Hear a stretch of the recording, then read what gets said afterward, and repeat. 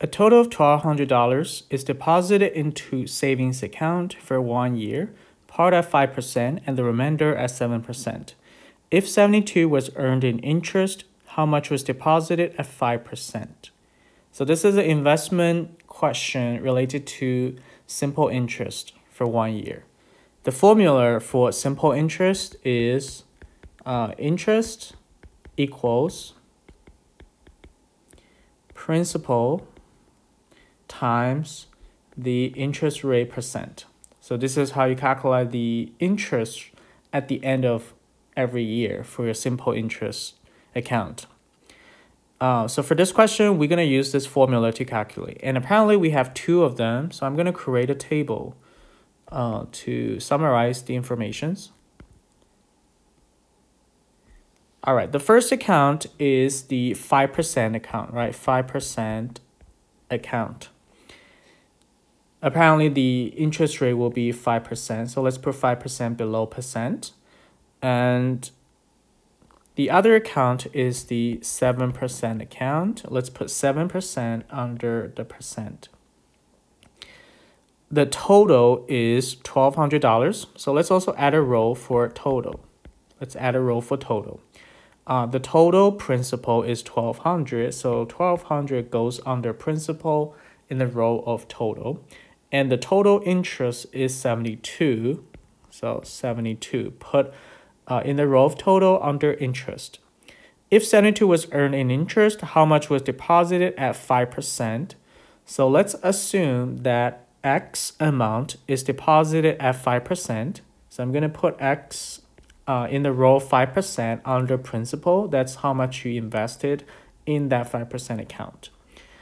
And because the total is 1200, so you would know that uh, 1200 minus X amount is deposited at 7% account.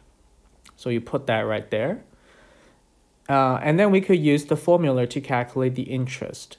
So for the 5% account, you're going to do x times 5%, right, to calculate the interest. So that is 0 0.05x. I'm going to convert it to decimals.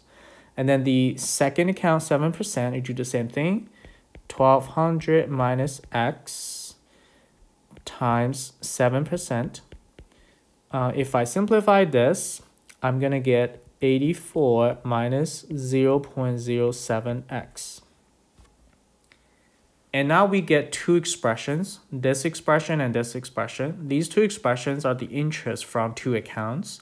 Since the total is 72, so we could create an equation based on the first column that we have right here. So 0 0.05x plus 84 minus 0 0.07x. This is the total interest, which is $72. So this is our equation.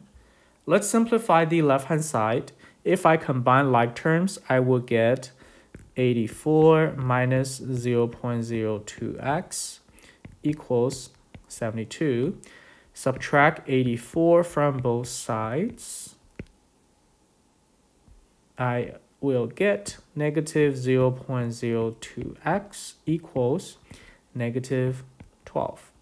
And then we divide both sides by coefficient negative 0 0.02. We obtain that x is 600. And that's exactly what we need to find. Because it's 600 that means also 600 is deposit at the other account because the total is $1200 but we only need to find out one of them. So you just answer uh, $600 was deposited at 5%